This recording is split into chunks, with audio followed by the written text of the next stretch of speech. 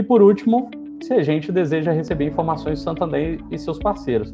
Esse opt-in aqui é importante porque são os e-mails que a gente vai utilizar ou os SMS ou quaisquer outros canais que a gente vem utilizar para falar com vocês, ou WhatsApp, ou Telegram, enfim, são inúmeros canais aqui que a gente vai falar com você sobre a continuidade do processo.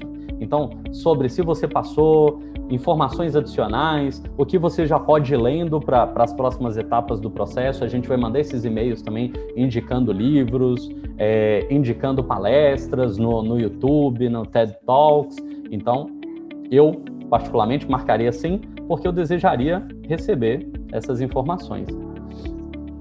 Uma vez que eu termine, então, você vai ler e aceitar a política de privacidade, as condições gerais do serviço, aviso legal, política de cookies, tudo mais que a gente está relacionando aqui, está tudo previsto no edital. Se vocês tiverem alguma dúvida em relação a isso, tá lá.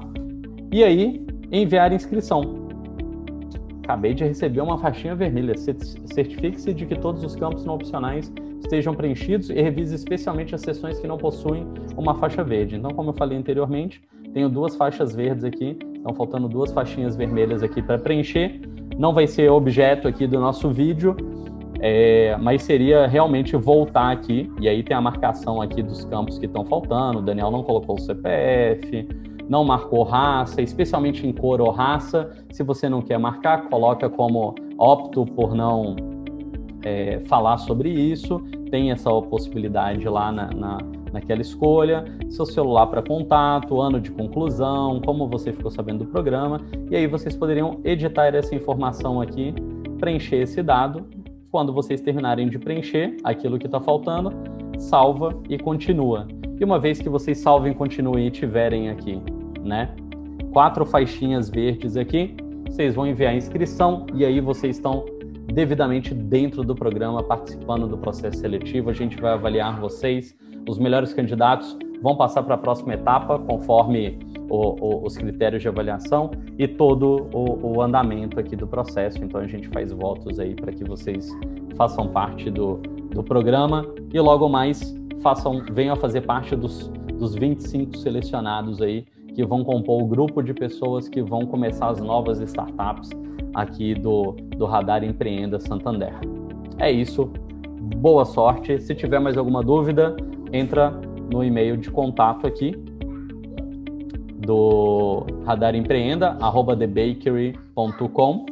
É um canal que vocês podem perguntar especificamente sobre dúvidas. Se não quiser nos escrever, se você tiver aqui no Universitários e Empreendedores Iniciais, que é o nosso caso, tem toda uma FAQ aqui, dúvidas frequentes, é só rolar, tá lá no final, né, do Universitários e Empreendedores Iniciais aqui. Então, foi rolando aqui para o final, a gente tem a FAQ, então quem pode se inscrever, qual o prazo de inscrição. A gente colocou aqui as perguntas que são normalmente questionadas, mas de qualquer forma vocês podem acessar isso no edital. É isso. Boa sorte para vocês. Tornem é, as suas tentativas de inscrição em inscrições, porque senão vocês não estão dentro do programa. Faço votos aí que vocês estejam conosco em breve. É isso. Abraço, boa sorte.